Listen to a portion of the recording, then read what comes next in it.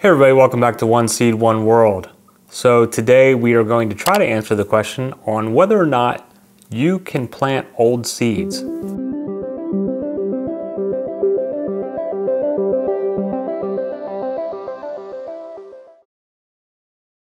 Now, most of us gardeners, once we get into gardening, get kind of a seed addiction. Get that seed catalog every year from your favorite seed company and you start going through those beautiful pictures and you got to have them all. Whoa, look at that. Yep. We're going to plant some of these this year. Oh, I got to get, wait a minute. Yeah, we're going to get this one. I think we should get eight packets of these. then suddenly you've spent half a paycheck and you have all these seeds, but you don't have enough room to put them.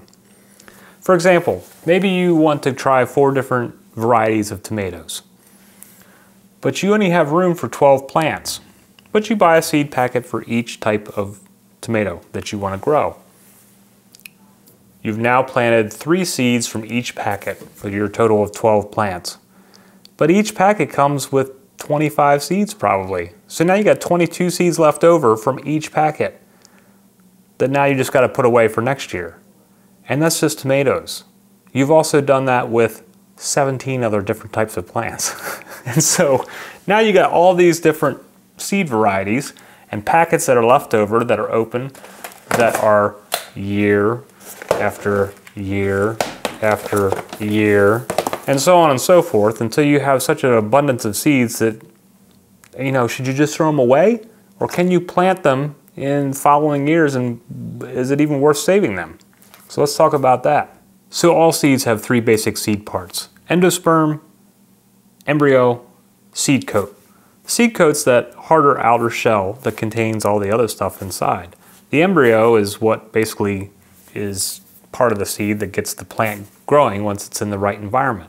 Now stored in that hard seed coat is all the things needed for germination. It stores up energy in there with lipids and carbohydrates and other nutrients that once it gets into that right environment uh, with some water and the right temperatures, it will start converting those carbohydrates and other things into energy, which then makes it sprout.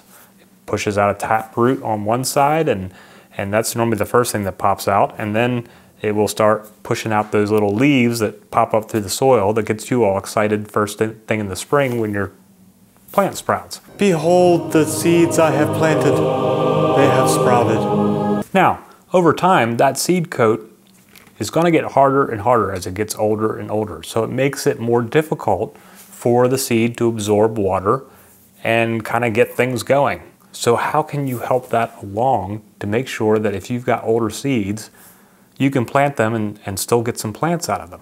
So number one, start with quality seed. Make sure that you're buying seed from a company that you know has good germination rates, either from your own personal experience or that you see good customer reviews or it's been recommended by family member or friend. So that, that way you know at least from the first year, you're starting off with some good quality seed. Not buying, now if you're buying seed from someone that claims that they're selling you blue strawberries or that cucamelons have red interiors, eh, it's probably a good chance you're not going to be getting any good seed. So make sure that you're getting the good quality seeds from, from a reputable company to start off. Number two, when you have your old seeds and you're done with them for the season, store them in a cool, dry place. Humidity is going to be your enemy, so you want to keep them in an area that's not too humid and not too hot and really not too cold. You don't want them necessarily stored in freezing temperatures Although there are some seeds and varieties that can benefit from some stratification, which is a whole other subject altogether. But basically, if you're storing them in your house, in like a pantry, in some sort of container, I store mine in these plastic Tupperware bins that have lids on them. And the lid locks down. I keep the seeds in alphabetical order, put them in a cabinet space where it's cool and dark, or room temperature and dark, and you know, that's good enough. You don't have to get all crazy with your seed storage. Just make sure they're not, you know, in crazy temperatures and stay dry. The third thing to consider is that germination rates will drop over time. Your first year, depending on the variety and whatnot, but you should have pretty high germination rates. So say you have a plant that, that uh, the germination rate is like a bean or a tomato or something, the germination rate is 90 to 100%. Well, by the following year, you're probably not gonna have 90 to 100%. You might, but overall, it might be closer to like 80%, say.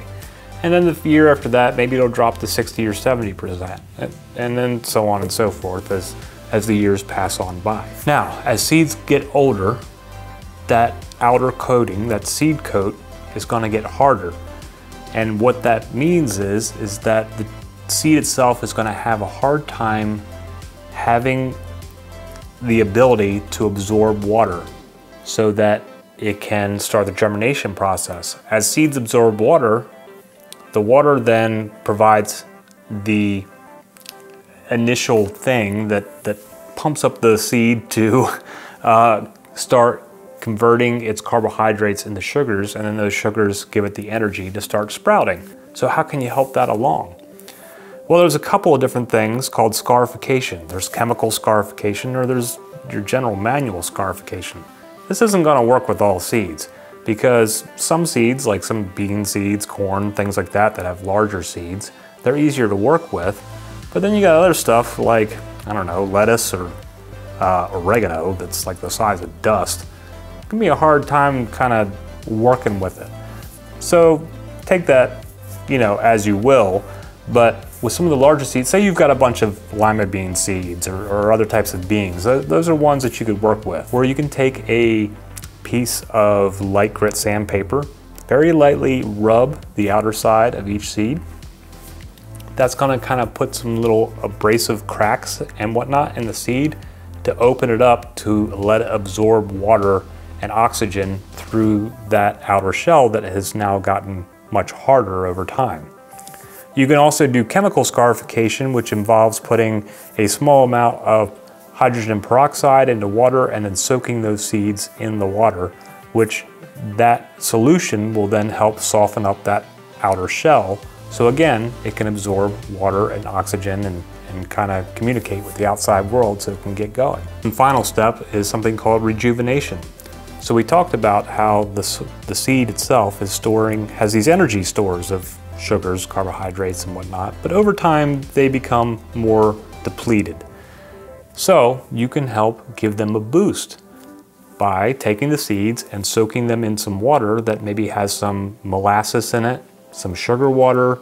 Uh, you can also add some other things like some um, vitamins and minerals to the water, like through like a, a kelp solution, uh, or even coconut water has been shown to help the plant, uh, or I should say, should help that should help the seed uh, give them that boost that they need. If, if their their stores of energy, their stores of carbohydrates and nutrients are low, you can soak them in these types of solutions. The seed then absorbs those solutions, gives them that sugar boost that they need, just like little kids, and then they go like, oh, I gotta, go, I gotta get going. So rejuvenation is another option.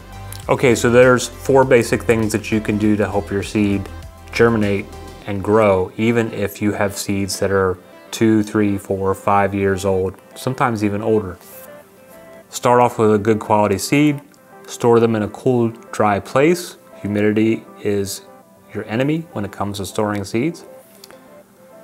Scarification, whether it be chemical or manual, or then the final step could also be rejuvenation, where you soak them in a type of sugar water, mineral water, coconut water. And then also just remember that no matter what you do, germination rates will drop over time. So you're not gonna have 100% in most cases, uh, you know, if they are two, three, four years old or older.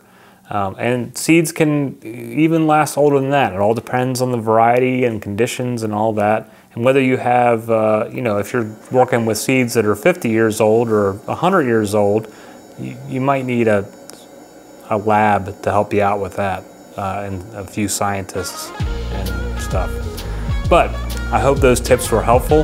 I am actually going to take, because I've got five years worth of seeds here in front of me, and I'm going to take a couple different varieties and plant them and monitor them and see what kind of germination I get and compare the years. And so I'll do a follow-up video for that in the near future, so stay tuned. But whatever's going on in your neck of the woods, I hope it's gone fantastic for you and that you are having a great day. Go out and play in the dirt, get some seeds sprouted either indoors or outdoors, depending on your location here in the middle of February. But we will see you again soon. Have a great day. Namaste.